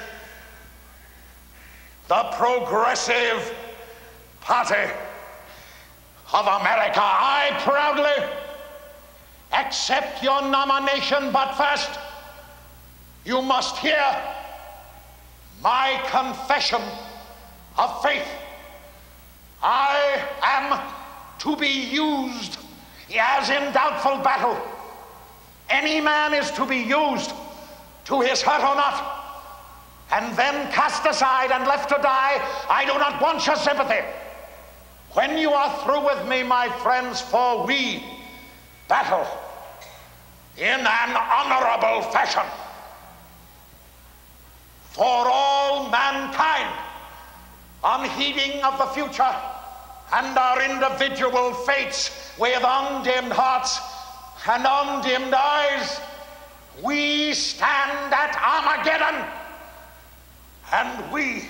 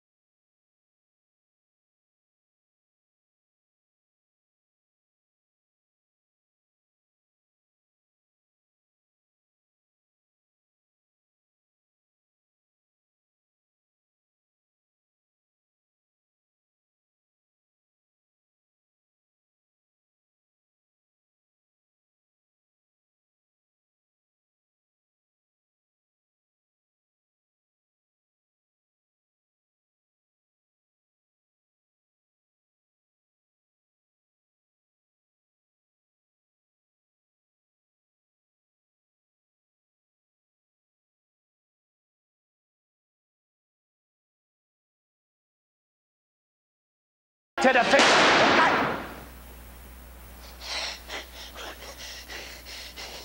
Get off. Get off that man. Get off him. Don't kill him. Get off him. Get off him now. Get off him. Don't hurt him.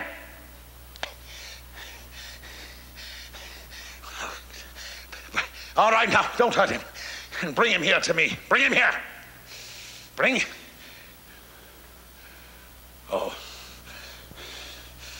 The poor creature. Take him away, but no, I'm not going to any hospital. I have a speech to deliver and I intend to deliver it. Don't hurt him! Don't hurt him! I'm going on to the hall.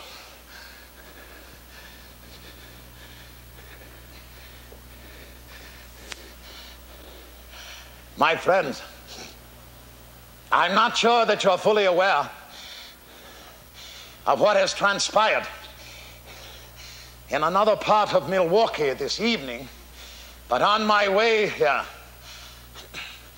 I sustained a gunshot wound. However, however, it takes more than that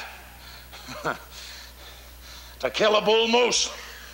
I, I have a speech to deliver, and I intend to deliver it while there is life left in my body. Now, I don't want your sympathy. I, I have had a better life than any man on this earth, that I promise you, and I don't want your sympathy. I want you to vote the Progressive Party ticket. And my friends, don't worry, because when the soldier who carries the flag falls, there is always, always another to take it from his hands. Always. For the army is true. If the cause be true.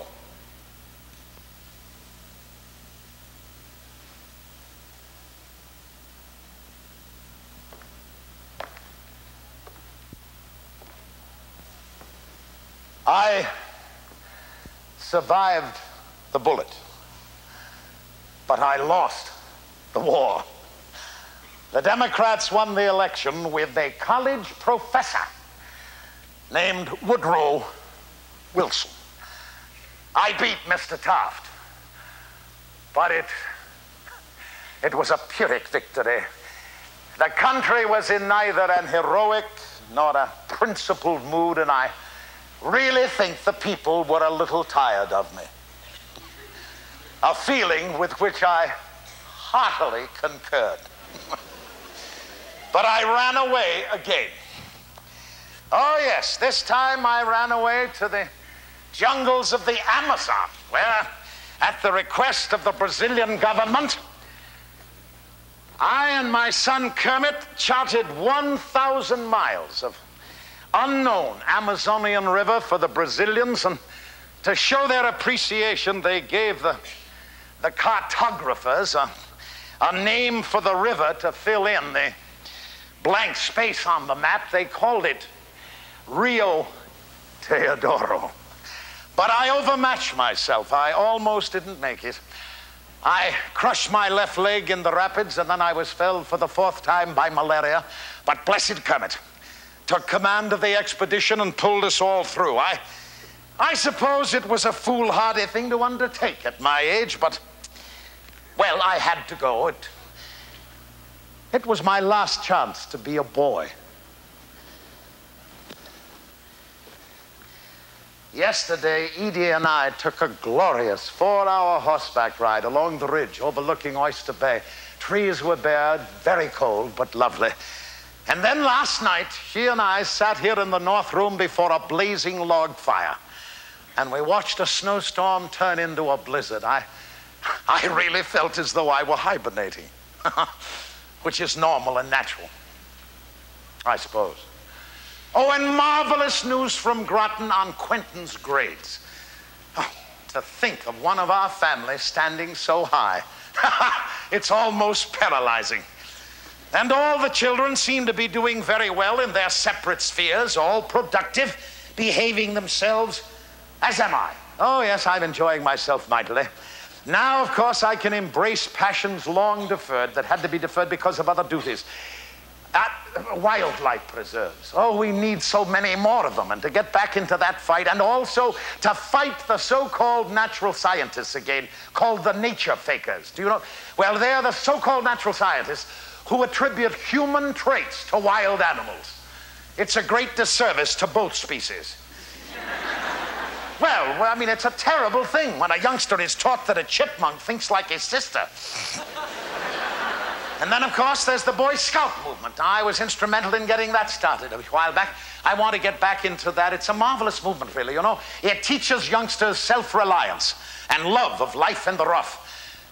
Now, the word rough, the word rough, there is another one of my passions simplification of the English language. Do you realize how many man hours and dollars are wasted every year because of the complexity of our language? When I was president, I tried to get 300 words simplified in the English language, tried to get it through the Congress. But it raised such a cackle that I withdrew the egg. Well, perhaps I can get it hatched now. Then, of course, there's my writing and my books, and well, I just, I just have so, so very much to do. So very, very much to do. Oh, Edie, what dear? No, no, no, no, darling. You didn't interrupt anything at all. No, no, my dear. I was just trying to get a battle plan here, and I, I no, dear, no, dinner. Anytime you say, dear. And no, I will not read to you after dinner, Edith. No, I will not, my dear. I will read to you right now. Oh, yes, I, Edith, I, please sit down right here, darling. That's, uh, thank you, Edith. Now, I'm going to read to you right now, my dear. No, there's nothing here that can't wait. Now, how about some Owen Wister? Oh, you brought something. Irwin? Irwin who? Wa- Wallace Irwin. Oh, of course. Oh, Edith, you can't be serious. Well, that's the man that wrote that ridiculous doggerel about me and my uh, peacemaking attempts between the Japanese and the Russians. But you don't want me to read that. You do, Edith. Why? Well, all right, my dear. No, no, you don't have to have an adequate reason. Not at all. No, it's trash. That's all it is, my dear. Well, I'll read it to you. No, Edith, I'm reading to you. If you want it, you shall have it, my dear. You're sure, though? All right. You may not remember it accurately. All right. Here it is. Tis morning. And King Theodore upon his throne sits he. And blithely as a king can sit within a free country. And now he thinks of submarines, and now of peace and war. His royal robe he handeth lobe, then wireth to the Tsar. Come off, come off, thou great white Tsar, come off thy horse so high. Send envoys straight and arbitrate the diplomatic pie. Then straightway to the Mikado, this letter he doth limn. Come off thy perch, thou morning sun, and do the same as him. Edith, you don't want me to read this, to you? Well, my dear, it was a rather serious business. You know, we did stop the killing and the war.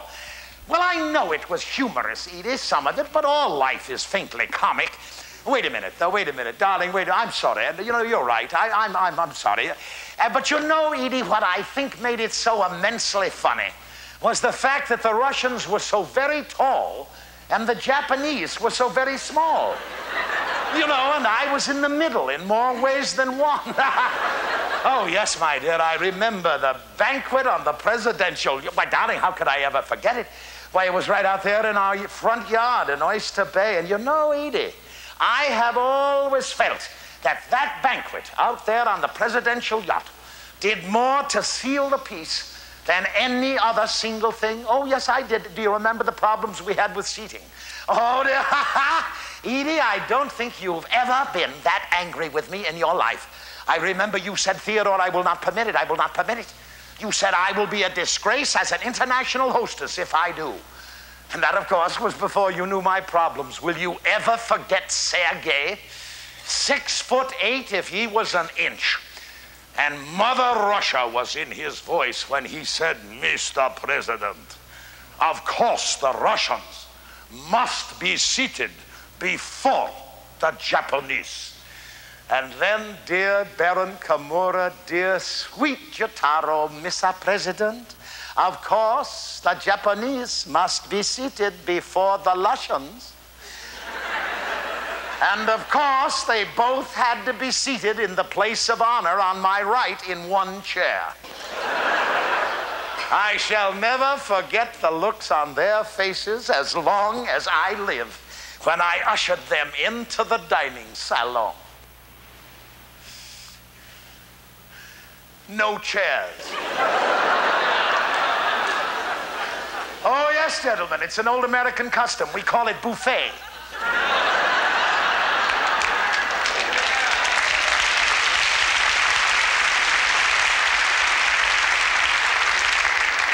That's right, gentlemen. You eat standing up. It's good for your digestion.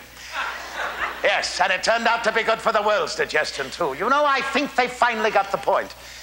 Great nations playing diplomatic games with people's lives.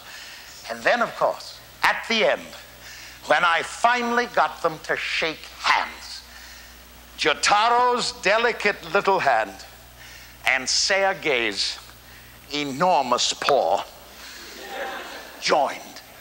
Nothing, nothing not the treaty signing ceremonies at Portsmouth or my Nobel Peace Prize ever touched that one moment for me of human civility and reason. By Godfrey, it was bully. What, Edie? What? Oh, no, no, darling. No, no, I'm no, no, I'm not going to read any more of Mr. Irwin. Now, Edie, I no, all right, the final stanza, you promise. All right, the final stanza, and then we're quit. Very well. All right, my dear. Final stanza, here we are, and now when ancient grandsires sit within the evening's grey, and oysters frolic noisily all over Oyster Bay, and Greybeard tells his little niece how Theodore did trek to drag the gentle bird of peace to Portsmouth by the neck. well, you know, that is rather clever. Yes, and so are you, my dear.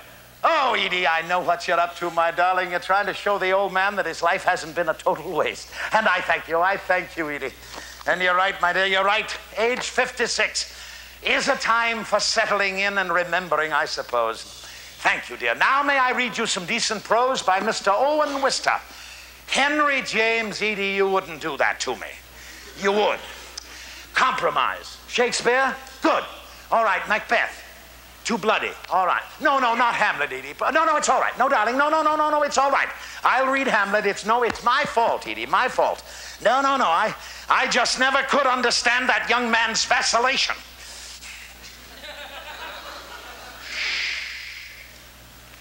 No, darling. No, Edie, that isn't thunder. No, that's cannon fire. And it's coming closer. It's happening. Sarajevo! It's happening. What I told them was going to happen. The Kaiser is marching. And what is President Wilson saying? Oh, Lord, how I'd like to be president now. Why doesn't he speak? He must speak. He must speak. The Lusitania has been sunk and men, women, and children have been murdered on the high seas. It is an act of war, and he must say so. Why doesn't he? Sp- He's speaking. A nation can be too proud to fight. The man is incredible. Did you hear him, Kermit? Did you hear that? The man is incredible. Him and that Secretary of State of his. William Jennings Bryan, the professional yodeler, the human trombone. Prize jacks, both of them. Peace at any price, universal arbitrationist. No, Quentin, Quentin, you cannot arbitrate with bullies, my son. No, no, Quentin. You have to stand and fight, and the sooner the better. No, no, Archie, wait a minute, Archie. When Germany finishes with England, our turn comes next.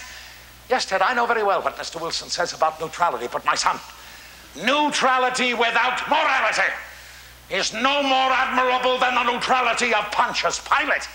Well put, Quenty, well put, son. Did you hear that, boys? Well put, you're right, Quenty. You cannot wash out the truth. It is indelible. It is the eternal damned spot.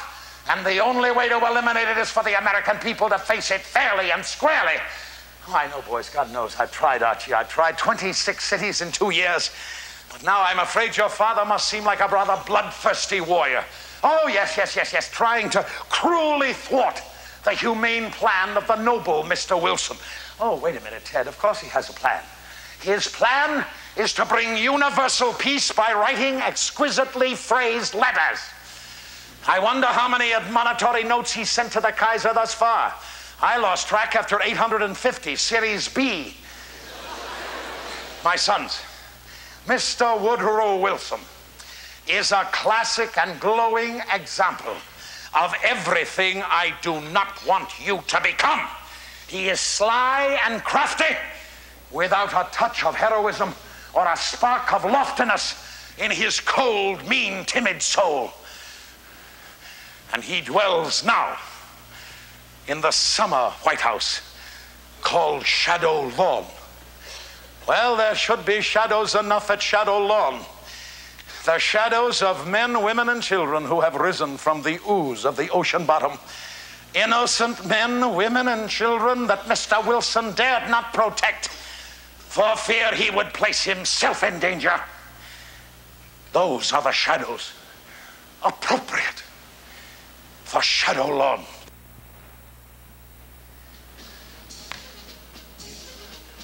He's speaking. Yes. Yes. Yes. That's what I've been shouting all along. But the prophet doesn't give a hang because we're finally in it. Two years late, but we're finally in the war. And it's bully!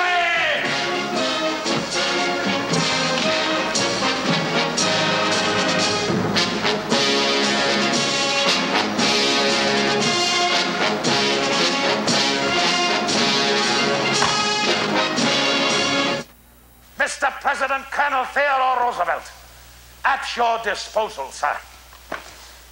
Yes, Mr. President. It's good to see you too, sir. Thank you. Mr. President, as you may have read or heard, a rather extraordinary number of men have rallied behind me, and I stand ready, sir, at your direction, of course, to lead a volunteer regiment into France just as soon as po- You hadn't heard. Well, these have been busy times for all of us, Mr. Wilson. Now, I have here. My wife is fine, sir. And yours. Good. Now, I have. My children are all well. Thank you, Mr. President. Yes, in fact, three of my sons are already in the fight, and Quentin will be in shortly. Now, I have. Well, yes, of course, sir, I am indeed. Very proud that I have four such sons. Mr. President, I have here the TO for the regiment. The table of organization, sir. Yes, if you would just peruse it, you will see that all necessary expenses will be derived from private funds. Staff officers approved, quartermaster approved, weaponry ap- by me, of course. Yes, and Newton Baker, the Secretary of War. He's an old friend of mine. Mr. President, Newton Baker has done some wonderful work for me in the past. Sir, if you would just sign right.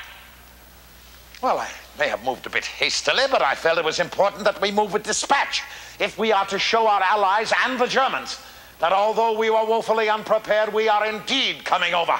Sir, just give me your hand on it. I'll tell the press. I've got them waiting outside. What? Oh, oh, oh excuse me. Excuse me, sir. Excuse me. Well, I see. Wait a minute. I may have moved hastily, but I certainly had no ulterior motive. I see. Wilson, I firmly believe when I came here today that the sight of an ex president of the United States leading our first troops into combat would electrify the world and scare the hell out of the Hun. I see.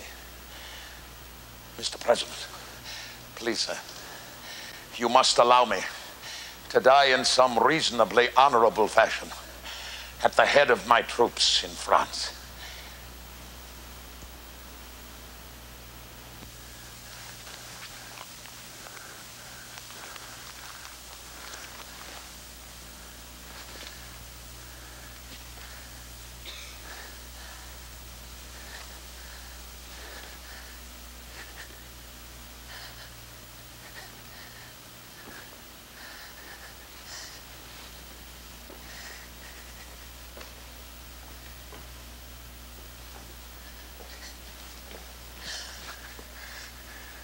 Yes, Edie, Edie, he saw me, dear. He saw me.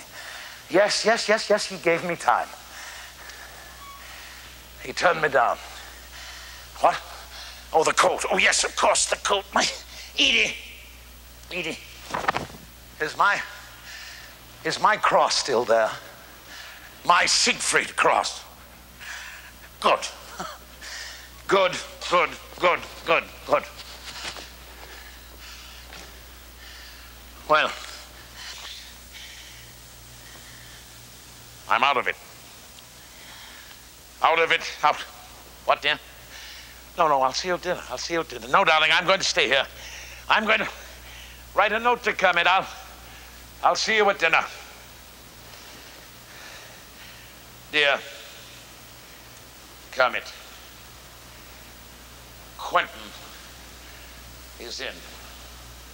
Huzzah off to join the new Air Force in France. Mother said it was hard when the youngest went, but you can't bring up boys to be eagles and expect them to turn out sparrows.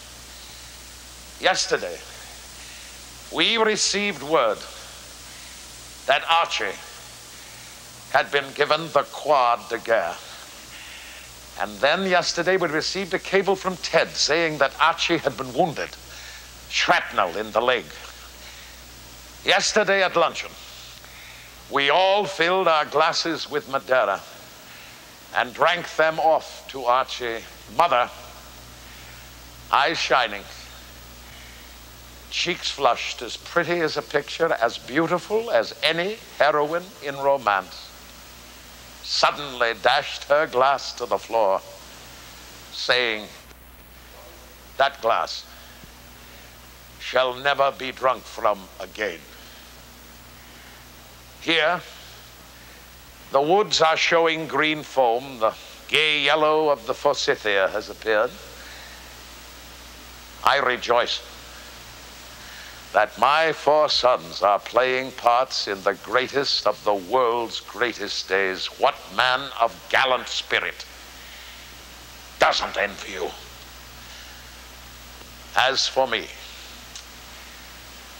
I cease to fret at my impotence to do anything in this great crisis.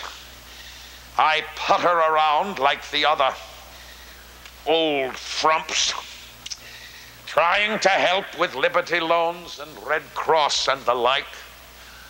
But you, my four sons, are having your crowded hour, and I am beside you all in spirit.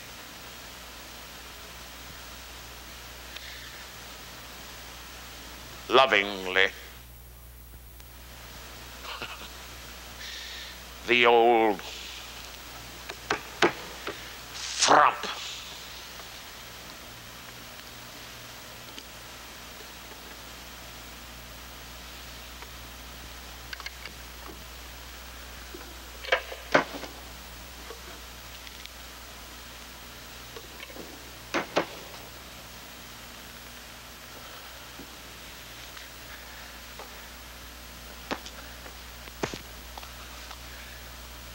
Mencken. Well, what do you think? Bishop Teddy to old Frump. That must please you mightily, doesn't it? What's the matter? You're so overcome with emotion you can't speak. I want to read you a wire that just just arrived today.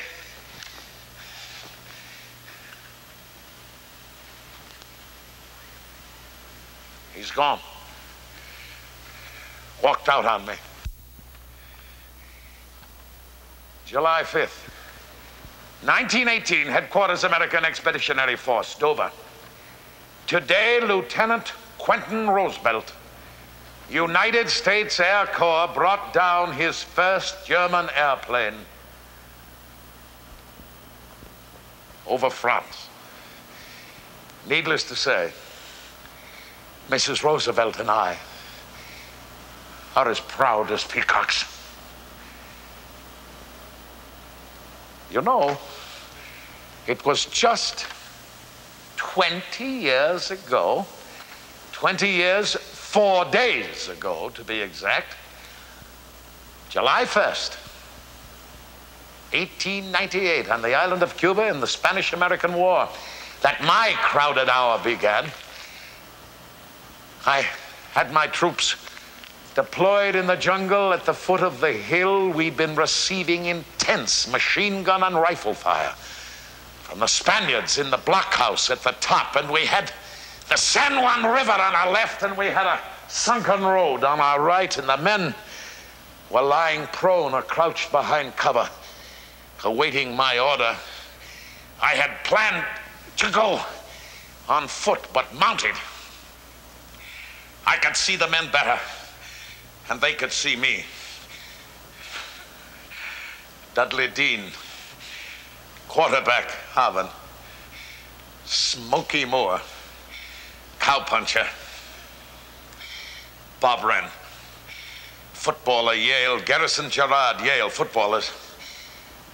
Bucky O'Neill, gunfighter. Mayor of Prescott, Arizona, Colbert, full-blooded Pawnee. Jackson, Chickasaw. Princeton men, Channing and Devereaux, footballers. Waller, high jumper. National tennis champion. little McGinty. Bronc Buster. College men, non college men, Catholics, Protestants, Jews, and some later would be buried in a common grave as Americans. And then, in that moment, just before the advance, as it always seems to happen, everything on earth seems to stop. You can't think, you can't breathe. The only action in the world is the overwhelming pounding of your own heart. All right, boys. Boys, move up to the edge of the clearing. Keep your interval. Move up to the edge of the clearing and await my order. Now pass the word. And as the word went down the line, each man looked to the right and then to the left to see who would go first. But then slowly, slowly, they move. All right, son. Son, move up to the edge of the clearing and await my order. Son, did you hear me? Move up to the edge of the clearing and await my order. Now move. What's the matter, son? Are you frightened? Son!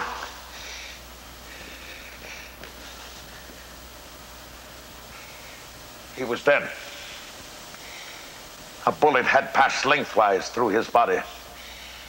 I on horseback had been spared. He, behind cover, had been killed. Slowly, slowly we made our way to the edge of the clearing and we took cover behind an old stone wall. The fire had been intense from the blockhouse at the top, but now it increased in volume. And beyond the stone wall lay a treeless slope. The blockhouse and the top a million miles away.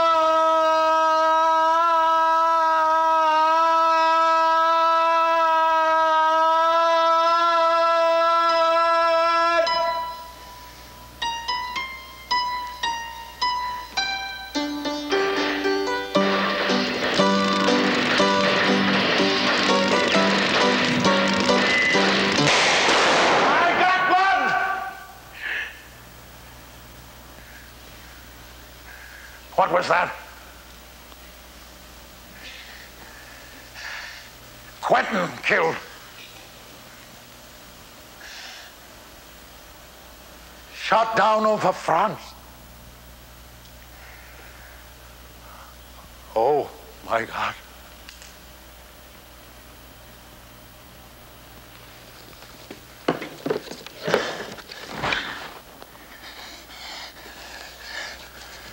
Not, not, not, not, not, not 23, please. Oh my God.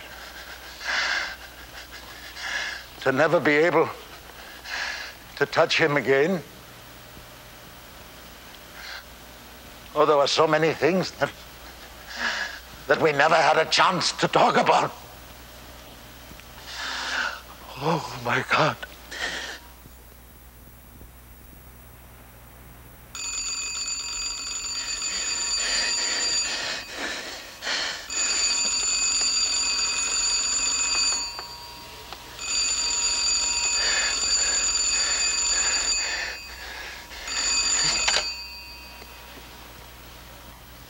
Yes. Yes, this is Colonel Roosevelt. The press, a statement. Here's just, just say that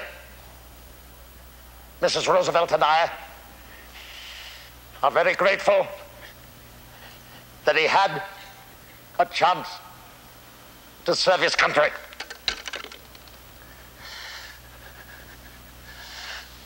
Goodbye.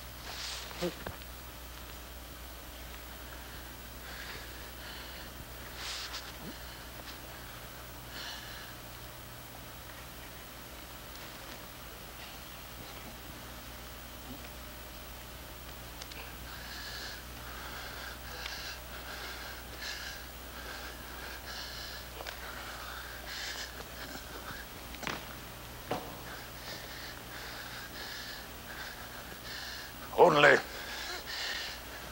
those are fit to live who do not fear to die, and none is fit to die who has shrunk from the joy of life and the duty of life. For both life and death are both parts the same great adventure.